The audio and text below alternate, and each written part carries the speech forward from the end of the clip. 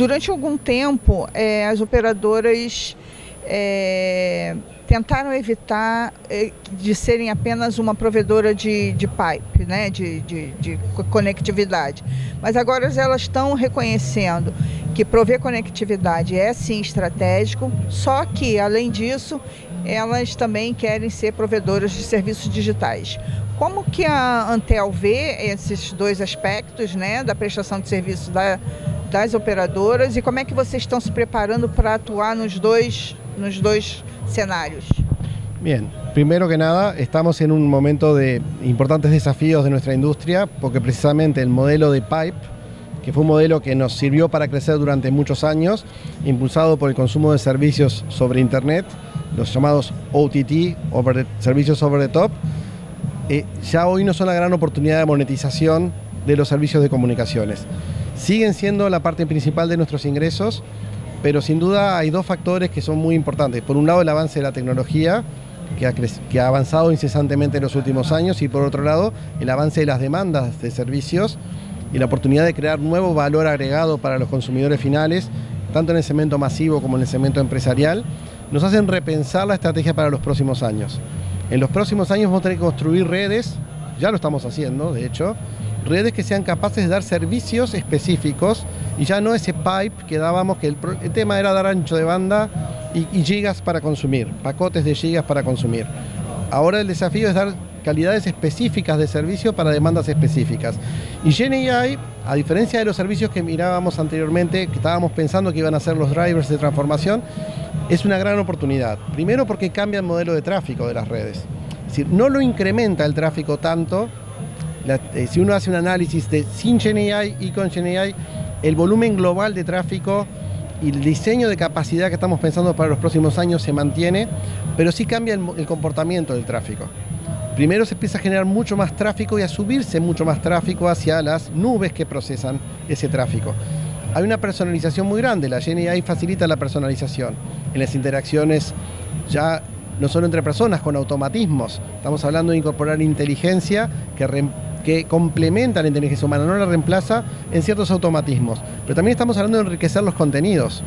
Contenidos enriquecidos por GenAI que pueden tener una personalización altísima. Yo puedo generar una imagen que en realidad la fuente no la genero así, pero la adapté para la visión que yo quiero tener. GenAI lo permite. Ya lo estamos viendo con ejemplos en este momento y ni hablar lo que va a pasar los próximos años. Entonces, nuestro deber como empresa de telecomunicaciones, primero, estar prontos.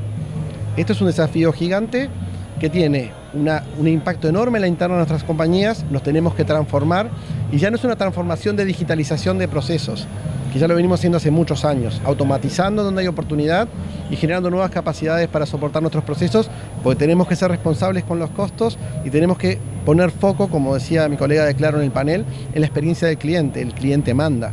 El cliente nos elige porque lo, preferimos, lo cuidamos, estamos, somos customer centric. El nuevo desafío es la personalización y la personalización no solo en la interacción, que es donde hoy se destaca la inteligencia artificial, chatbots que son capaces de interactuar como si fueran un humano, extendiendo las capacidades del humano, sino también en todo lo que los humanos somos capaces de generar. Y es donde aparecen esos servicios que los imaginamos y que van a estar quizás en poco tiempo al acceso de nuestros, de nuestros clientes y nosotros tenemos que ser los facilitadores para que esos servicios lleguen. nuestra responsabilidad es facilitar que, que esas capacidades estén como proveedores de servicios de comunicaciones como responsables, en el caso de Antel Uruguay, somos la empresa nacional de comunicaciones del país, entonces hacemos parte de una política de Estado también. El país quiere estar en la vanguardia en lo que tiene que ver con la industria de, las tecnologías de la información. Uruguay es un país que a pesar de su pequeño tamaño geográfico, destaca en tecnología de la información. Exportamos a los principales mercados del mundo servicios de Haití. Servicios y desarrollos de Haití. Y si queremos seguir haciendo eso, tenemos que tener facilitadores locales, enablers locales, que, sean que, permitan que esas empresas que están en el país y aquellas que vienen del resto del mundo a instalarse en Uruguay encuentren la plataforma que necesitan. Y Antel es el proveedor de esa plataforma. Entonces hay una estrategia de plataforma para los servicios del futuro, plataforma de inteligencia artificial, plataforma de gran capacidad de comunicaciones, por eso 5G en todo el país. Hoy veíamos más temprano cuando se presentaban estadísticas 5G Américas de la penetración de 5G en Uruguay. Y la otra cosa que es muy importante también es prepararnos nosotros como compañía a hacer un proceso de transformación y por eso hay varios procesos estratégicos que estamos llevando adelante para facilitar esa transformación. Y por último, y muy importante, se habló mucho en el panel que me tocó participar, la importancia de los parceiros, de construir ecosistema. Esto no funciona con una empresa sola, funciona con un ecosistema. Es muy complejo, estamos hablando de que las grandes tecnológicas tienen una capacidad de invertir y de captar talento impresionante. ¿Cómo nosotros podemos jugar?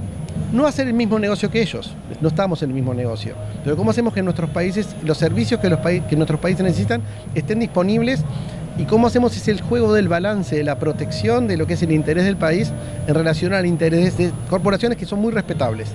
Bueno, es ahí donde tenemos que generar esa capacidad y se hace con parcerías, se hace con, con ecosistema. Nosotros, por ejemplo, en Uruguay, el caso de Antel lo hemos hecho recientemente, abrimos un laboratorio para interactuar con parceiros en la construcción del ecosistema digital habilitado para 5G, es decir, pensando en la evolución de 5G, y no solo por conectividad, sino también por la capacidad de manejo de servicios específicos, y por otro lado, inteligencia artificial. Entonces, ahí Hablamos con Google, hablamos con AWS, hablamos con Microsoft, trabajamos con todos, pero también generamos capacidad local para complementarla de esos grandes jugadores y creemos que la complementación y el abordaje híbrido son el camino para el futuro. Você falou em custos e, alguém falou em ditadura do cliente, né? A necessidade de ser você client customer centric e também na ditadura da nuvem, né? E alguém disse também que a nuvem é muito cara e que a, o processamento da GenAI também vai ser muito caro. Como é que, como é que vocês estão lidando com esse desafio desses dois custos, da nuvem y da, da IA? Bien, en lo que tiene que ver con el costo de nube, lo tenemos claro, es, es, es un desafío. Hay, hay, hay, una tendencia muy fuerte a los grandes proveedores de servicios eh, de tecnología informática a nivel global de volcar sus servicios a la nube. Es una forma de mantener cautivos a sus clientes y generar un modelo de distribución de servicio muy ágil. La mayoría de los proveedores importantes de software a nivel mundial están yendo al modelo de nube y a la suscripción de sus servicios. Es un modelo de consumo muy ágil y facilita la adopción de productos en las, en las compañías. Tiene una contracara, en muchos casos es más caro y en muchos casos genera lo que se llama un vendor lock-in. Quedamos prendados de un proveedor. Y eso es un problema para negociar en el futuro, los costos aumentan y eso es lo que de alguna forma sucedió con la pandemia, lo vimos, hubo una tendencia, teníamos que responder rápidamente todas las empresas a las demandas que teníamos de digitalizarnos rápidamente. La pandemia fue un gran catalizador de digitalización y muchas empresas no tenían capacidad de respuesta, no había personal de IT disponible para hacerlo. Las grandes compañías que veían una gran oportunidad de mercado captaron toda la gente que pudieron. Entonces muchas empresas no tuvieron capacidad propia y dijeron, bueno, consumo servicios no tengo capacidad de desarrollar los míos. Y es realmente un desafío, la tecnología es compleja y es caro tener un equipo propio. ¿Y ahí qué pasa? Entonces la nube pasó a ser la alternativa, nube pública en la mayor parte de los casos. Eso hoy estamos viendo que si bien se mantiene como tendencia y los grandes proveedores de tecnología lo sostienen con fuerza, hoy se habla mucho de la nube híbrida. Se habla mucho de las capacidades híbridas. Hay servicios que se van a consumir en nube pública porque sus economías de escala son mucho más convenientes y eso es así y lo vamos a tener que aceptar de esa forma porque son las, es lo más razonable. Y hay servicios que tienen que correr localmente.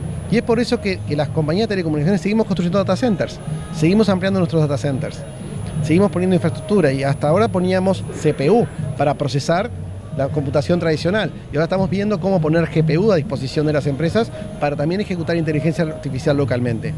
Y ni hablar si tenemos demandas de, baja tiempo de respuesta ningún hyperscaler, ningún gran actor de la industria de cloud pública va a armar data centers en cada lugar. Nosotros sí tenemos infraestructura en cada lugar. Hay una radio base cerca de cada cliente final. Ahí podemos poner un edge de la cloud.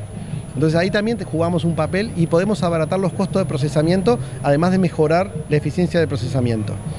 Entonces por ahí el tema de, cloud nos, implica un, desafío muy grande.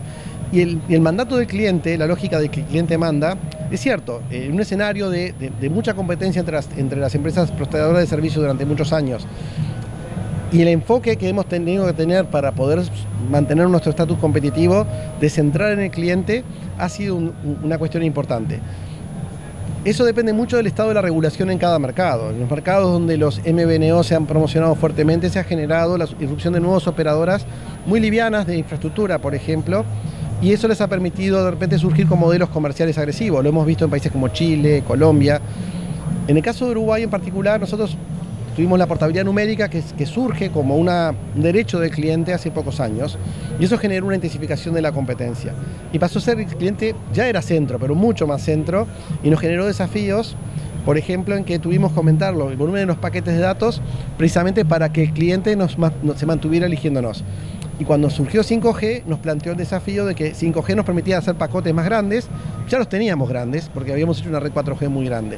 Entonces eso nos generó un condicionamiento diferente al de otros operadores. El cliente es el centro de nuestro negocio, pero creo que algo que estamos viendo y lo vemos en este evento, y acá estábamos claros, ante él competimos en Uruguay, estábamos sentados en el mismo panel, conversando de lo que es oportunidad. Ayer estábamos hablando con Telefónica aquí. Hablaban de Open Gateway como una iniciativa donde las, empresas de telecomunicaciones estamos trabajando juntas para generar API, servicios para consumir de un acuerdo todos.